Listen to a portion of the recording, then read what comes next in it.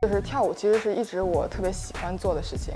我是在上大学的时候就对跳舞感兴趣。我在中国科学院大学读研一，我就一直在学校就是那种参加各种文艺活动、唱歌跳舞的那种人。嗯，我现在是一名高中的化学老师。嗯，等放了学之后呢，把自己的全身心都投入到音乐当中。每一个跳舞的人，我觉得是都很真实。跳舞没有任何的束缚，你怎么跳都是对的，只要你想这么跳。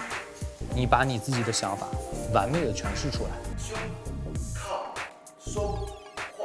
我没有什么觉得入行的感受，我只是跳舞而已，玩呗，就开心，大家一起跟着跳跳舞。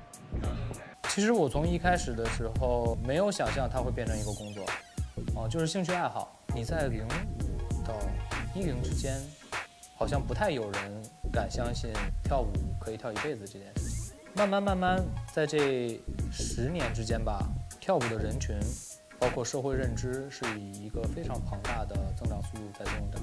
慢慢有这个行业的需求出现，我们开始做这个行业。所有的舞蹈都是在用肢体语言去交流。